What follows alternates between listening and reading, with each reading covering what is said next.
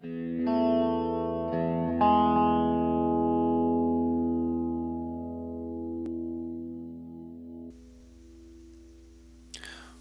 back. I uh, needed to make a video today just to try to make right some of my mistakes from yesterday actually. So right after I sent that video yesterday I saw this blog post of something I follow.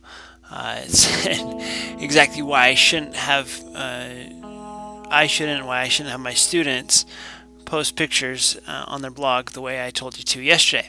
I guess that's called hot linking uh, and there's some problems with that namely it if someone changed the the URL, the image on the URL that you uh, that you linked, it would change your blog.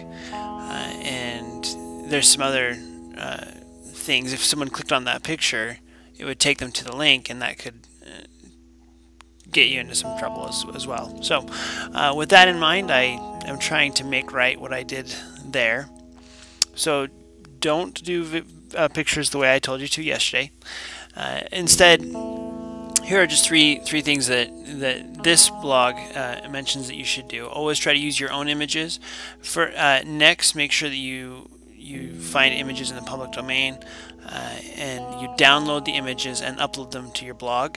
And then, if you can't do do that, then look for Creative Commons license um, images. And again, you download the image and upload it to your blog. And then make sure you give citation.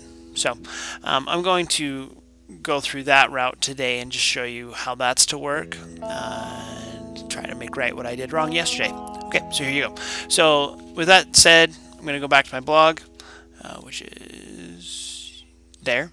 Okay, so I got rid of the picture that I had before, and I'm going to add a new image in here. Um, but first I want to show you how I get, got that image. So I started back here I went with this site photosforclass.com uh, and I just searched for the term Bradbury and there's my picture okay so I downloaded it I already have that downloaded um, but I, I, need to make sure that I give citation for it so I'm going to click on this and, and I noticed this on on here uh, and not everyone will be this explicit with it most of the time I would just say photo by Alan Light anyways but but he actually says that exactly that's what he would like you to do if you're using it. He says that's fine. He's I've granted you uh, permission to copy, publish, broadcast any of my pictures, but uh, credit photo Alan, by Alan Light, and I'll put a hyperlink on Alan Light's to this site. So first, let me go back to mine. I'm going to upload. So I, notice that I I select this one, insert image, and then under upload I choose file let's, well, okay, I'll go ahead and do that again anyways. So uh, here I come down, select it, it's open, it's going to reload it.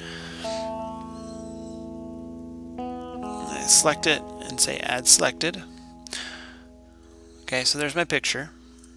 Now I'm going to add a caption to it again. And I'm going to say photo by Alan, what was his name? Alan Light. And then on Alan Light, I'm going to put a hyperlink. I'm going to link it to this page. Say open a new window. There you go. Okay. Uh, and so there's my thing. And I'm going to add a little bit more to this picture. Oh boy, I really messed that one up now.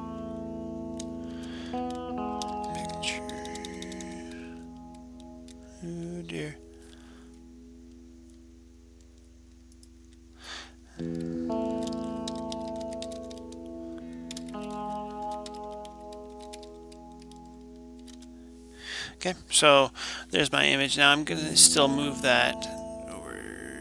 Oops, excuse me. I'm to move it over here. So it's not necessarily separate from my text, but kind of in there together. Uh, there you go. So now I've given citation to Alan for taking the picture and all that, um, and I'll get rid of that one because that was my example from yesterday. So that's how you could do it. The other way is they mentioned Pixabay. Um, I could come here. Now this one is just is is in the public domain, using images in the public domain. And so with that, let's say I search for Bradbury. And let's say I use this one. Okay, so I, I can, it's a free image. So this one, it's in the public domain, so I could use it, uh, and no att attribution is required. I don't need to say, here's where I got this from, or anything like that. They've told me I can just put it on my site. So I could do that as well. I'd download it and then upload it again, uh, just as I normally would. So hopefully that, that sets right some of my prior mistakes and, and let me know if you have any questions. Uh, one a couple sites that have been useful in, in seeing this. Uh, there's this site which is all about copyright law and particularly pictures. Uh, and then the other one, it's uh, free technology for te for teachers. It's a site that I've always followed. Uh, it's about hot linking, uh, and so those are two sites that that I've looked at and kind of learned what not to do, uh, and hopefully, anyways, that that's that's helpful. Thanks.